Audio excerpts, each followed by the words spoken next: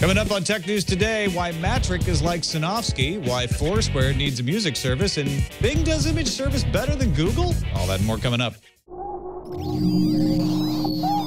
Netcasts you love. From people you trust. This is Twit. Bandwidth for Tech News Today is provided by Cachefly at C-A-C-H-E-F-L-Y dot com.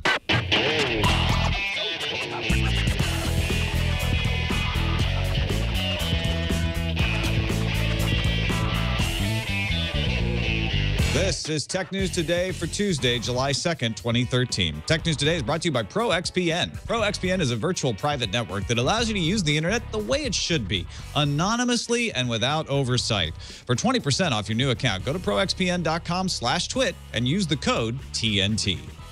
Welcome to Tech News Today. I'm Tom Merritt. I'm Sarah Lane. I'm Iyaz Akhtar. And I'm Jason Howell. And this is the show where we keep you up to date on the most important stories in the tech world, put them in context for you, starting with the top 10 stories of the day in the news fuse. As AllThingsD speculated yesterday, Xbox division chief Don Mattrick has left Microsoft to become CEO of Zynga beginning July 8th. Zynga founder and current CEO Mark Pincus will continue as chairman and chief product officer at Zynga. Mattrick's direct reports will now report straight to Microsoft CEO Steve Ballmer for the time being. Ballmer is rumored to be planning a major reorg for Microsoft. Yesterday, we told you about Apple filing a trademark for the name iWatch in Japan. Turns out it's more of a global affair because Apple's looking to trademark iWatch in Mexico, in Taiwan, in Turkey, in Colombia, in Chile, and in Russia. Best Buy will be the first brick and mortar store to sell the Pebble smartwatch. The order page for the Pebble is now live at bestbuy.com, but you can't order it yet. Best Buy has a coming soon button where you'd normally see the add to cart button. It'll cost $150 and be available in red or black starting July 7th. Motorola posted, intentionally or not, a placeholder page for a phone called the Droid Ultra, billed as thin and, quote, tough as steel, available in, quote, bunch of colors. It's probably temporary text. Droid Life noticed that the specs are actually the same as the RAZR M, which probably means the page is not finished and filled with placeholder specs. The Opera software browser, Opera 15, is now available for Windows and OS X users, as well as Android users who had it already. Some notable features are speed dial for frequently used web pages, off road mode for slower networks, the stash feature collects screenshots of web pages and puts them all in one place, and Opera Discover presents a group of web pages based on a user's interests, like regional news or music or sporting events. Canon introduced the new EOS 70D DSLR, which is which uses a 20.2 megapixel APS-C sensor and comes with Canon's new dual pixel CMOS autofocus. Now, Canon says that this allows EOS 70D to have a shorter focus time and that this DSLR will record video with quality close to that of a camcorder. The 70D will be released in September. The body alone will cost you about 1200 bucks. Kit options will cost 1350 to 1550. Like most of us, you're probably dreading that long commute from the city up to the Hamptons this July 4th weekend. Well, calm your mini French bulldog. We have a solution. From 12 until 8 p.m. Wednesday, Uber will let you book a $3,000 helicopter ride from your smartphone. An SUV will pick you up from anywhere in the city and take you to the helipad. You can also book an Uber X vehicle for 300 to $500 to drive you to the Hamptons if you're afraid of heights or you're like poor or something. Wait, wait, wait, wait, wait. There's something called a mini French bulldog? Mm-hmm. Oh my goodness. Asus unveiled its That's what you got out of 31.5 inch 4K monitor last month. Now the PQ 321 just rolls right off the tongue is available for pre-order on Amazon, Newegg, and Tiger Direct. It's an Ultra HD display, which is a 3840 by 2160 pixel 10-bit RGB monitor. Basically, that means a billion colors. It can claim that it's the thinnest 4K monitor on the market at only 35 millimeters since you all want one, let's talk about the introductory price. It's a low, low $3,499.99, which is $300 less than its initial price point, but still really, really expensive. It's $500 more than a helicopter ride to the Hamptons. Uh, since 1998, Microsoft's TechNet program provided subscribers licenses to all Microsoft software for evaluation purposes and has been used as kind of an insider secret to cheap software ever since. That's all ending, folks. New subscriptions and renewals will not be taken after August 31st and must be activated by September 30th. Subscriptions last one year, meaning all of them will end on September 30th, 2014. Microsoft says they have shifted evaluation services to free limited time copies. There's some new glassware for you Google Glass. So, Jason, listen up. Sahas Katta produced an app called Glass Tesla that pairs glass to the Tesla Model S car. The app was created over a weekend, and Katta implies he reverse engineered the Tesla Android app to make his glassware. Glass Tesla lets you do all kinds of things like lock your doors, honk your horn, flash your lights, or adjust your sunroof. So enjoy the app, all three of you who own both Glass and a Model S. I, as you're totally right. I have a Tesla. This is perfect for me. Perfect. yes. Can you give me a ride to the Hamptons in your Tesla? This episode of Tech News Today brought to you by ProXPN. Uh, as it's in the headlines pretty much every day, more than ever, your online freedom and privacy are under threat. Governments looking at your data, ISPs looking at your data, prying in there, trying to sniff your packets. Uh, and, and plus, if you're traveling, I'm, I'm going on a trip soon. I'm going to be using that Wi-Fi in the airport. I want to use that Wi-Fi in the hotel. Well, that stuff is dangerous. People can can can sniff out your passwords, get your sensitive data. It can all be intercepted. That's why I'm using ProXPN. It's a virtual private network that works with almost any internet connection, creates a secure, encrypted tunnel through all, which all of your data passes. That way, nobody can see it. Uh, and any online application can work with ProXPN because it's just an internet connection. Uh, you can use a web browser, you can use email, you can share share your files, do your instant messaging, all the stuff you normally do. Keep everything you do hidden from prying eyes. Disguise your physical location and still get unfettered access to any website or online service no matter where you live. Uh, it can protect yourself from filtered or blocked websites, works via OpenVPN or PPTP. you you get to choose. That gives you lots of flexibility and complete online privacy, as I mentioned, through a 512-bit encryption tunnel, world-class customer support, and the thing that convinced me to give it a whirl was Steve Gibson giving it a great review on security now. So go try it out. Go to proxpn.com slash twit for more information. You can sign up there. ProXPN premium accounts are normally $9.95 a month or $74.95 a year, but we've got a special offer. You don't have to pay that much. Use the code TNT and you get 20% off for the lifetime of your account. That's less than five bucks a month on the yearly plan. If you're not satisfied, you can cancel within seven days for a full refund. So go go there, proxpn.com slash twit. Keep yourself safe. Sign up with the code TNT. We thank ProXPN for their support of Tech News today. I'll be using it next week when I'm on vacation. All right, we were going to have Danny Sullivan of Search Engine Land on the show today. A little miscommunication prevented him from getting on. We hope to rebook him and have him back on the show soon. But let's get right into the tech news and uh, talk about the thing we were speculating on with Dills yesterday. Uh, Zynga definitely did hire Don Mattrick as their CEO, Sarah. Yeah, it was kind of like right after the show, it all became official. So we spent all this time talking about, well, what do we think? Does this make sense? And indeed, it's a real deal. Uh, Steve Ballmer uh, sent a note to uh, it, uh, the members of, of Mattrick's team over at Microsoft uh, saying, quote, since joining IEB more than six years ago, Don and his team have accomplished much. Xbox Live members grew from 6 million to 48 million. Xbox 360 became the number one selling console in North America the past two years. We introduced Kinect and have sold more than 24 million sensors. All of that is very impressive. If you read the sort of goodbye to to Don Mattrick, it if you want to parse it, I mean, it's either just very uh, by the book, let's not get emotional here, or there's no love lost between the two men. Uh, on the Zynga side of it, Mark Pincus, uh, who has announced that he's stepping down as CEO but will continue to head up product, uh, said in a note to all employees at Zynga I realize I've had the greatest impact working as an entrepreneur with product teams, developing games that could entertain and connect millions. I've always said to our board if I could find somebody who could do a better job as our CEO, I'd do all I could to recruit and bring that person in. I am confident that Don is that leader. Wall Street Journal is reporting that Mattrick is apparently going to be paid about in 95% of his salary will be compensation in stock which might sound odd, although Mark Pincus uh, over the last year basically took no salary at all because Zynga Yeah, and was Steve Jobs famously took like like a dollar in salary or something. So that, that's more common than you may think. Yeah. I think really at this point, you know, we did a lot of speculation on what it all means and is this, you know, is this uh, Microsoft trying to get rid of a bad Apple, you know, on the Xbox team because they've had some bad press lately? Is this more of a, a guy who's going to save Zynga? I think the most interesting thing here is kind of the timing of it all. It, Mattrick headed up what is, you know, a, a very successful Xbox brand, but he's not staying for the Xbox One launch later this year. What do you guys think? I mean, is this like Microsoft needing to get rid of him, or is it more of a Zynga said, well, we need you now?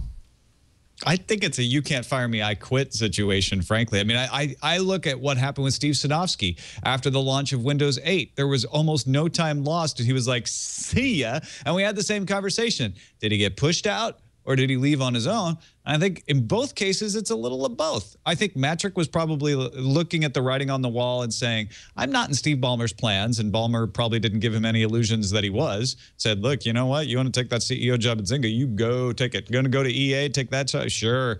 Get out of here. So I, mm-hmm. I, I feel like this is part of the Ballmer plan, but maybe not getting pushed out so much as Mattrick just kind of re- realizing it.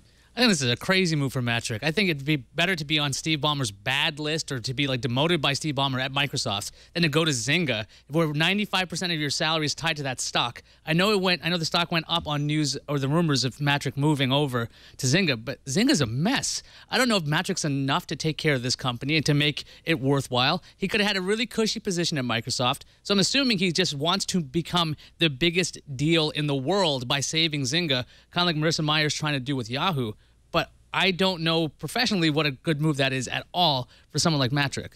Well, I don't know. If you're looking at being fired and, and someone offers you a CEO position, which looks better on your resume? Well, you're assuming he's going to be fired as, as opposed to being demoted or being a part of a different Well, division. okay, right? even let, let's even let's lessen it to say, okay, you're going to be demoted, or you can have CEO on your resume of of of a, of a major Wall Street traded company. Be demoted to a company that is stable versus Zynga. Uh, I don't know if you want to be the head of a sinking if ship. you're a CEO, if you're a CEO, you always have a golden parachute. Well, you doesn't matter if you're paid 95% in stock and the stock goes down. You always do well when you exit as a CEO. So here's you're going to get a chief executive title, which will help you get another CEO job in the future, and you're going to be a board member of Zynga, which is which is a big step up, and you're going to get all of this money no matter what happens because that's the way it works in the business world today. I, I see no downside for Mattrick in this situation, especially since everyone in the Xbox world hates him right now. well, that's just the, the, the popular uh, opinion, right? They hate Mattrick because they, his name is popping up for that quote. But people are going to forget about that. It'll be fine. Yeah, I feel like this is. I, I mean, the whole Mattrick is is is bad for for the for the Xbox brand. I think is totally out of proportion. I mean, it's it's very timely right now just because because of um because of E3, but. I wish him well at Zynga. I guess I, the whole thing seems to me, Mark Pincus being like, "Well, I can't run this place into the ground any more than I already have. Let's let's try something else." Uh, you know, I've already made quite a bit of money, so give him a bunch of stock, see where it goes. Stock is up a little bit, ten percent, although it's still really, really down since their IPO back in 2011. All right, let's uh, talk a little bit about Bing search. I really wanted to talk to Danny about this one. Uh, Bing has added Creative Commons filtering to the search engine, uh, and it's now part of Office 2013. When you search for Bing images from Office apps, it will allow you to filter by any kind of image or public domain, free to share and use, free to share and use commercially, free to modify, share and use, or free to modify, share and use commercially. Now, Google does the same thing but it does not include public domain separately, and it hides the option in advanced searches. Uh, so if you if you look here at at Bing, you've got this little license drop-down menu right here in the Bing image menu system, and there you go. You can say, okay, I want to I want something to free to share and use commercially. There's all the giraffe images I could use, and I can use them with the Creative Commons license attached. That's great. If you go to Google and you want the same thing. They have a, a search tools drop down menu, but it doesn't have the ability to search by the licenses. You have to go into the advanced search and scroll way down to the usage rights. And then you can say free to share or use commercially, and you have to pick advanced search and you get the same thing. So Bing made it a little easier. But the other thing to remember is that when you're in Bing, and you search for something and it looks at the license, I'm going to search for Doctor Who. Now, all of these are free to share and use commercially. Really? The BBC made those? I don't I, I don't know, but let's go let's go with uh, Hawaii 50. These are free to share and use commercially. CBS has made all of these Creative Commons. Like I just don't believe that the proper license is attached in all of these cases. So it's a bit of a caveat. What do you what do you guys think about people relying on this and and being kind of touting like, "Hey, we've got an easier way for you to find images you can use safely." We were actually talking about issues like this on uh, this week in law last week about people taking images that are have copyrights on them and then they relicense them under Creative Commons or public domain, which messes up things like Bing or Google. So it does seem like it's a little bit dangerous. But then again, I guess I'm kind of curious if Microsoft's going to go out of their way to try to find and match these images with copyrighted works to make sure that they are not showing up in their results. I'm not sure what Google does actually to make sure that they are not victim of that as well, because I'm sure there's some kind of thing in the disclaimer somewhere in the terms of service. Our results are not necessarily something you should rely on. So Microsoft can say, "Oh, it's not our problem that you you used a copyrighted image." But I'm curious if if this move is very consumer friendly though. It's like, "Oh, look, I can find this right up front." It's not an advanced feature to find something like this. Yeah, I I can definitely see uh, the Bing folks. If for whatever reason something gets through the filter and you use it because you're like, I can use it. And then somebody makes you take it down off of your site or sues you or whatever. There being some sort of a terms of service saying, you know, we're we're not we're sort of guiding you towards images that you can use freely. But yeah, like you said, Tom, there's something fishy about all of that. I mean, can I really use all those images? That doesn't seem right. I like the idea of making it easier for people to use images that are meant to be shared, you know, and everybody kind of benefits from, I guess, the promotion aspect of it all. But I would I would be very wary about just pulling stuff off of some filtered search on Bing that's well-meaning. Yeah, because the liability is on you. Google and, and Bing uh, are not indemnifying you. They're saying this person says they have the license. We're not going to comment on whether they're right or not, but they say they do, and you can search to find out the person that says it. What happens after that's between you and the person you're getting the image from. So if they're lying, they can be liable, and if you use it improperly, you could be liable. Maybe you could sue them. We're safe harbor. We're out of here. Uh, so it, it is interesting to see Bing sort of touting this. And I love the idea. I, I, I would love to be able to trust that. And I think actually in the majority of cases, if you're looking for giraffe images, you probably can trust it. Uh, but I, yeah, I, am curious how Bing is indexing that stuff, and and I think that's a great idea. What I suggested is doing some kind of, of copyright match, but we know how well that works on YouTube. Uh, so maybe that's not such a great idea. I, you know, for now, I'll just stay with my current image search at Alta Vista, and uh, and and go with that. Oh yeah, that'll take you far. That's why I'll i take millions of photos of things I, will never need, like a, a, real great shot of a shoelace, because I own the rights to that at least. So I don't have to go relying on these searches. Why am I taking pictures of giraffes? Because I need them eventually. all right, Foursquare teaming up with Deezer. Deezer. First of all, Deezer is a music service that a lot of people probably aren't even aware of. Yeah, so Foursquare's got a new deal with uh, streaming service Deezer. If you check into seven different music events, you'll get three month a three month Deezer Premium Plus subscription.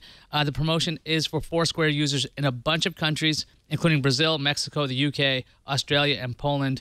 Uh, there's going to be three different tiers for check-ins. One check-in gets you into level one, three gets you into level two, and seven into level three.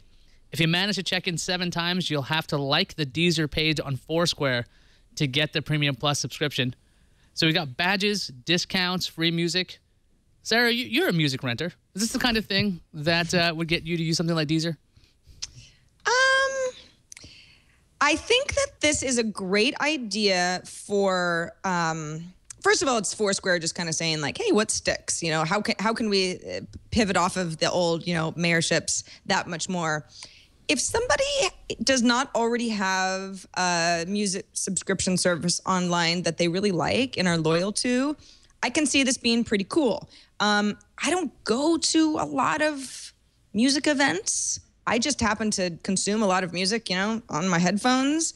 So I feel like this, I, it would be hard to even get to seven different music events and then get the three months um, Deezer subscription. However, if for whatever reason you're a big music fan, you know, Foursquare knows it's like there are people who love going to music shows. So maybe these people are just really, really into live music, but then everyone can benefit from them getting hooked onto some sort of uh, music service online.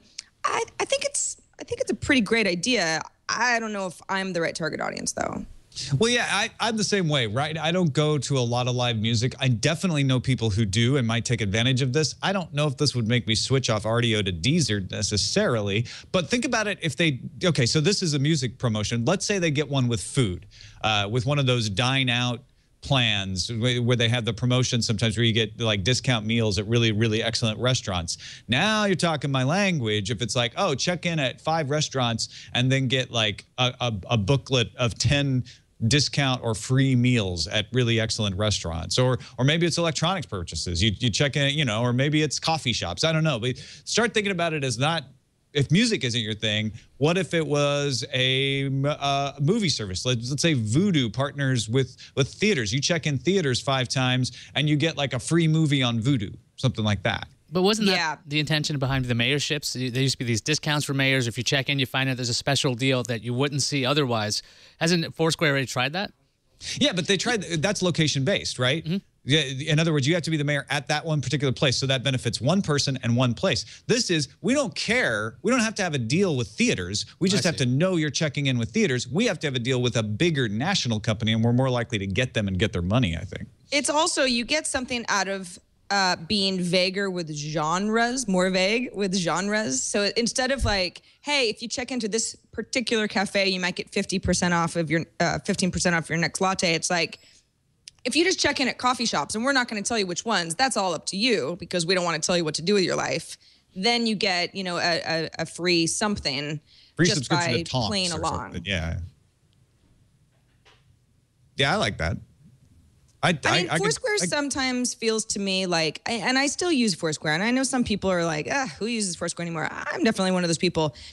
They're they're they're they're seeing what sticks promotion wise, and that's fine. And you know, go for it, Foursquare. But I feel a little Foursquare fatigue as far as all of these specials and promotions. And there's Foursquare Explore, and there's Foursquare. You know, you've you've got a setting that you can turn on so that when you walk by something, you're supposed to get a text message, sort of like a pop up notification that there's a there's a special inside, and that doesn't even really work all that often. I don't know. I I hope they I hope they figure out specifically kind of what they are as a company soon. Aren't all those features supposed to make you want to keep Foursquare running all the time and you want it in your pocket to give you a text? It seems like you're getting irritated that it has a lot of features. It's like, oh, it's so much help. We're really helpful. Hey, it's Clippy of Foursquare. Yeah, I just I don't know. It, it, they seem unfocused, and I get that they're they're sort of trying to, to to pave their way and figure out how to make money and how to keep all of us giving them our location data. But um, it's kind of confusing, at least right now. Well, I, I I don't find Foursquare confusing if I don't think about it. Like when I use it, it's like, oh, they've they've gotten really good at being like, are you here? And I'm like, yeah, I actually I am. You're you're getting better at this. Uh, if if they throw up a sort of like, hey, you checked in at a bunch of music places, want this discount subscription to Deezer? I'm not. I don't know if I'm going to mind that necessarily. Um, well, I don't live in Brazil, Mexico, Indonesia, or any of the countries that get Yeah, it. it doesn't even apply to you, Tom. It does, Unless you doesn't move. apply. Those of you who are always complaining we don't do stories that apply to your country, well, there you go. Deezer, take it. Let's talk about solar power now. Apple is going to be building a solar plant next to one of their data centers. yeah, in our country, in fact, uh, in Reno, Nevada, outside of Reno, Nevada. This is actually a really Is interesting Nevada story. in our So- country? I guess it is. Yeah. Yeah. Apple's working with uh, Nevada utility NV Energy to build solar panel, b- very large solar solar panel farm. It's covering 137 acres next to a new data center that they're building uh, in Reno, Nevada. They're calling it the Fort Churchill Solar Array. And this is not new. Apple's been building two solar panel farms next to another data center in North Carolina, but this Reno uh, Reno one will be another build out. It's interesting because it's going to provide between 18 and 20 megawatts uh, worth of power, and it's using a new type of solar technology. So both solar panels uh, and also mirrors will be used to concentrate the sun's rays which will provide up to seven times the power uh, generated from these panels. Apple's working with a, co- a solar company called SunPower on the engineering and construction for this. And there's the, the uh, Apple is working with the state of Nevada eh, um, because Nevada has introduced new green tariffs that are approved by um, Nevada's Utility Commission that lets Apple pay for the cost of building out the solar panel farm. So Apple's like, we've got the money, we can build this out. Then NV Energy, which is the Nevada utility, can pay Apple to use that solar farm or eventually buy that solar farm that's been built out by the company and then use it in its energy generating assets. Uh, the Utility Commission of Nevada approved this uh, tariff on June 12th. Apple has an option to expand the solar farm as well if all goes well. Um, so, and this is all, again, part of Apple uh, very publicly stating it wants to get to 100% clean power for its data centers through a mixture of clean power, buying renewable energy credits, and then buying clean power from providers. This is pretty cool. I mean, does, does it, is there any like downside of the fact that Apple's like, we want to do this. This is this makes us look good, and we're experimenting with new technology. And then the state of Nevada gets an energy build out that it can piggyback on later on. It definitely seems Yeah. like a smart uh, business deal for Apple and, and the state of Nevada. The big thing for me is the practical concerns of data centers being built out. They're huge for Apple. Cloud services for Apple these days, iCloud, messages, all that stuff, not exactly stellar, not running very smoothly. If they can get more and more servers up, whatever it takes, if it's green powered, that's great. But get those servers running and get those services in order because Google's just killing it when it comes to cloud services and Apple's a mess. Yeah, and I don't even care if they add more servers. If that's the if that's solution, great. But it's it's the management of the service that seems to be the issue, not not just capacity. Uh, so so sure, part of it adding more servers. I want to see that. Part of it, like I has said, get the service sorted out so it actually works reliably all the time, uh, whatever the the issue is. But all that said, I think it's pretty cool. I would love to see more places able to take advantage of this sort of solar and wind power when it makes sense for them. I, I, I think that's that's fantastic. I don't think it's a panacea that's going to solve all the world's problems, but if this works, that's great. I love this. Yeah, Let's I do talk- too. Uh, Yeah, yeah, uh, yeah. Who doesn't, right? solar farms getting more powerful and getting smarter. I mean, 137 acres is is huge, but then again, we're talking outside of Reno. I mean, there's there's not a whole lot that's going to be put out there. It's the desert after all. As Duper says in the chat room, clouds brought to you by the sun. Hmm, See? See what he did there? Yeah. All right, uh, let's talk about Nate Anderson's article in Ars Technica tomorrow, today. Uh, if you guys have seen it, he writes about his AT&T offer. Uh, I think Nate's in Chicago. That's where Ars Technica is headquartered. And he got an offer from AT&T Uverse, whom he had left to go to Comcast uh, for his ISP, saying, hey, we've got fiber to the node in your neighborhood. It's going to be 1995 a month at the one-year promotional price. Uh, so we'll need a one-year term commitment. Uh, there are up to $180 in early termination fees. We're also going to charge you $99 installation, and you're going to have to rent your modem for $6 a month unless you buy your own modem. Uh, and you'll get up to 768 kilobits per second. What do you think, huh? Tasty deal. Is this deal from wrote- this year or is this deal from like 10 years ago? Oh. It's from today, from this week. Uh, and and Nate said, okay, so I, I'm like, this is obviously an enticement offer because who wants 768? He went and looked up on the AT&T Uverse site. Top speed is 18 megabits per second for $56 a month. Now, what I love about this article is Nate said this this is an example of what's wrong with the ISP system in the United States. That this is even a marketable offer. That that people wouldn't just laugh this away. Uh, maybe it's confusion over the 768. They see a big number and think it's 768 megabits per second by mistake. But Google Fiber, as an example, seventy dollars a month, one gigabit per second, no construction fee. City of Seattle, $80 a month, one gigabit per second, one year contract required, but no install charge. And the city of Chattanooga, Tennessee, $70 a month, 100 megabits per second, some additional fees. Uh, but that is also an older network. That one's been around for a lot longer. So is the fact that we have these these horrible offerings from big companies like AT&T who are supposedly like the backbone of our nation's uh, internet uh, is that a product of government supported duopolies or is AT&T just giving up on infrastructure and saying, you know what, we we're we're a mobile company now. We, we we've got this this industry, so we might as well milk as much money out of it as we can while it's still there. Iyaz, what do you think? Well, I think when it comes to AT and T and some like a company like Verizon, they're not necessarily putting in money for infrastructure for landline-based communications. We saw Verizon had that FiOS rollout that they stopped doing after a while, after seeing that shareholders didn't seem to care that their customers were super happy with 20 megabits per second at a really low rate. Uh, it could be that it could be infrastructure costs as well. If you think about if there was one dumb pipe that you can keep switching, we wouldn't really have this problem, right? We have AT&T try to build out their network, Verizon try to do theirs, and Google did their own network, and they can offer these low prices because they're kind of doing it in this experimental model. AT&T is probably just doing this so they can get as much money as they can out of a what they consider an old business that probably won't be around for the longest time because their money's going towards mobile, mobile, mobile, mobile.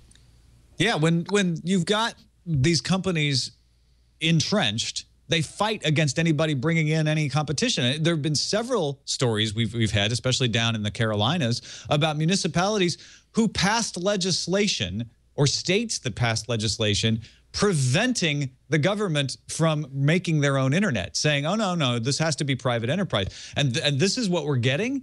This is the competition. This that that this is the best that an open market can present. It's because it's not an open market. What you've got are entrenched interests donating to the politicians, causing those politicians to then make the laws in some ways slightly favorable, in some ways incredibly favorable towards the incumbents who then have no kind of incentive to improve the network infrastructure. I mean, this is this is an example of of of what is wrong. I think Nate Anderson is absolutely right uh, with the United States industry, and something needs to be done about it. And every time someone tries to say something needs to be done about it, they blame the government. Well, yeah, the government's wrong for giving the subsidies and giving the preferential treatment to these big companies. Not the government is wrong for trying to actually roll internet themselves in some cases. That may not be the right solution for everybody, but you shouldn't prevent it from happening. And you shouldn't try to fight. They, they even try to fight Google in Austin when they came in to, to say we're going to do Google Fiber in Austin. So I think the whole promotional price thing is is one of those things that um, a company like AT and T still to this day feels like it can it can it can skate by with stuff like that where we go ooh 1995 for a year cool I won't I won't cancel before a year so I don't worry about that early termination fee but when you really do the math it's like this is such a colossally bad deal and the speeds aren't I mean the speeds are uh, insulting right compared to what is possible in other places so it's I don't know. I I mean I, I guess it's it's still just a yeah. Let's see how many people we can sell this to before we can't. no, I think you're right. I think that, that is exactly what's going on. I think we're all agreed. Uh, this is the death throes of AT&T's infrastructure. But then they, they don't want anybody else to compete with them. It's, it's the worst of all possible worlds. Let's talk about something cheerier. Twitter with a, a new little feature that seems to be experimental. What's going on with this, Iyaz? Yeah, F-Secure's Mikko Hypponen noticed that Twitter is testing out a new feature in its cards. A list of sites that embedded that particular tweet appears at the bottom of some Twitter cards. So as an example, if you saw like a White House tweet, you'd see links and titles to CNN and ABC news articles where that tweet has been embedded. Now, the feature apparently came and went and returned over the course of a day. Twitter hasn't commented on the feature beyond pointing TechCrunch to a general blog post about Twitter testing hundreds of features all the time. I'm looking at these cards and they're getting larger and larger. They have video players. They have sometimes they have embedded photos. Sarah, at what point is the data too much in a Twitter card? If they add links to this, aren't we just building a web page in a web page? Well, what's wrong with that? I, I mean, it's not like you have to see all of that in line. That's something that you can choose to get more information about. Yeah, I mean, I see what you mean that it's getting a little crowded in there, but I mean, is there a certain type of information that we feel like Twitter just shouldn't be adding to its card data? I don't know. I'm okay with it.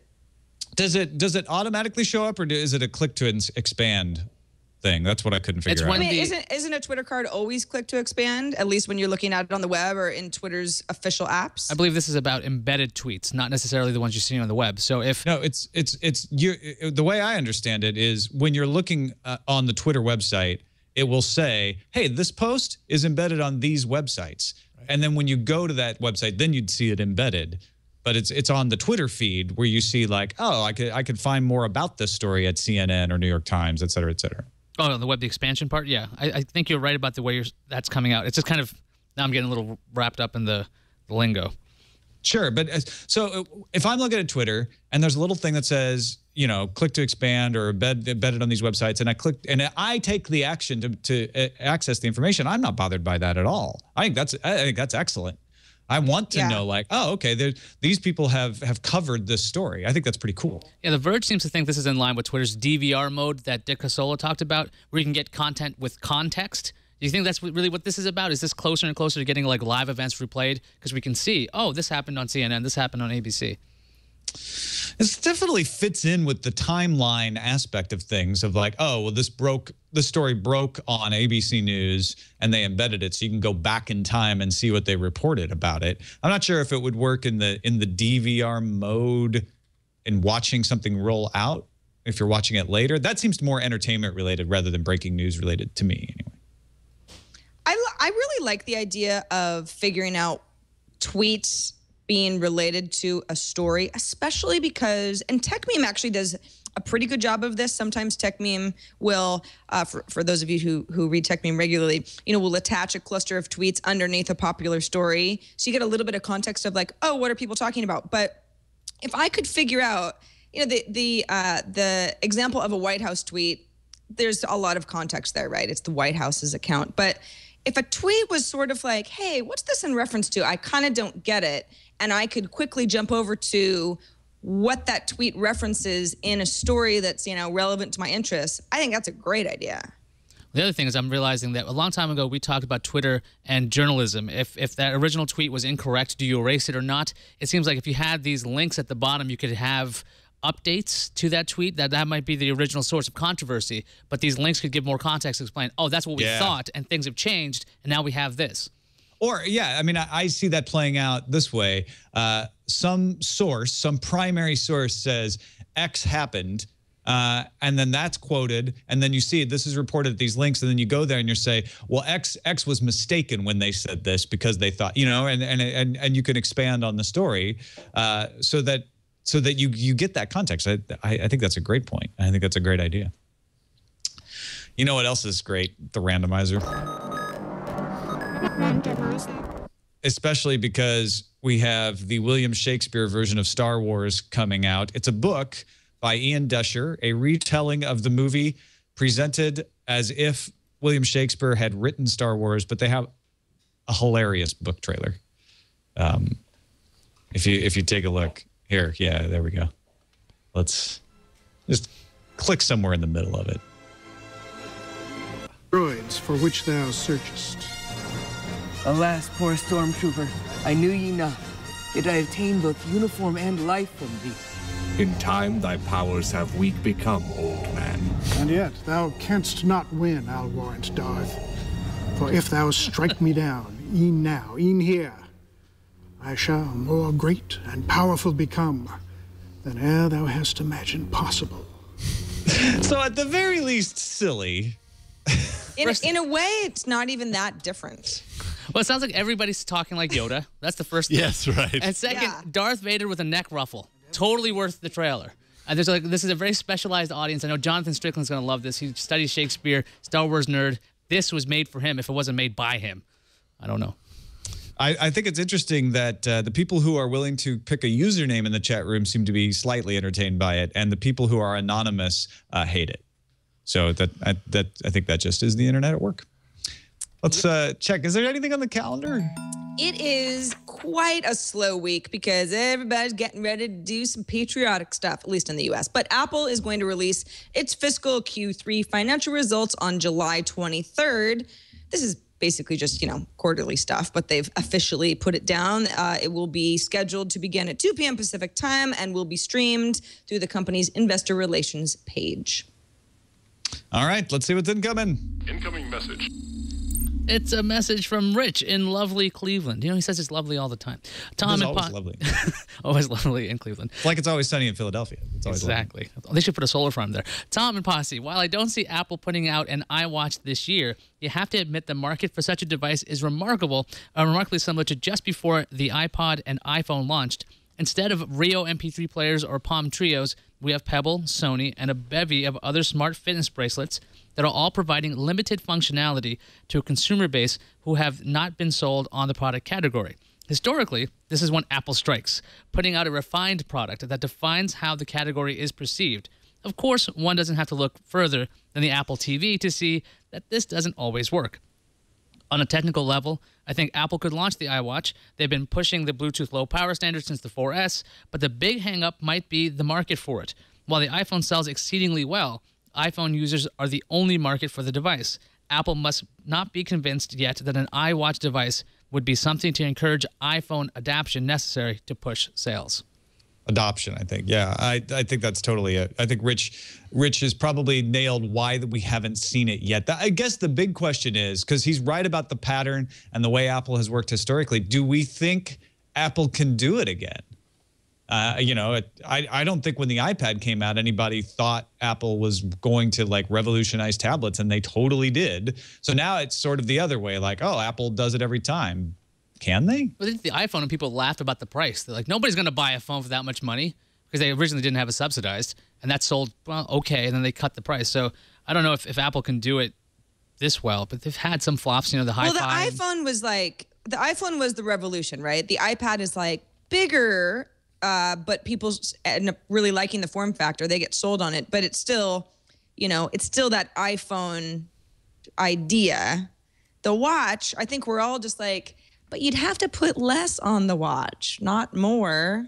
So where's the revolution there? And maybe, yeah, maybe it's something that we have to see to believe. But I think that's the problem that everyone seems to have is like, but what, how is it, how, how can it be like a huge, huge, hey, let's, let's change the game again with a smaller yeah. device? Apple fandom is collectively holding their breath right now. Yeah, waiting that's a good way to put it. If they could do it again. Uh, and everybody else is just enjoying the reprieve from the constant onslaught of announcements. I think. Well, that is it for this episode of Tech News Today. Thank you everybody for joining us. You can uh, join us all the time on our website. In fact, in our in our subreddit technewstoday.reddit.com, you can join in picking the stories it's one of the sources we use when we decide what we're going to put in this show each day. Uh, it's one of the reasons that's where I found the Nate Anderson story about AT&T that we looked at today was in the subreddit. So go there, technewstoday.reddit.com. What really helps us is when you vote on the stories. Of course, we need them submitted as well. You can find us on the web all the time, twit.tv slash TNT. You can email us, TNT at twit.tv, and give us a call, leave us a voicemail, 260 TNT Show. We'll be back tomorrow with Natalie Morris. See you then.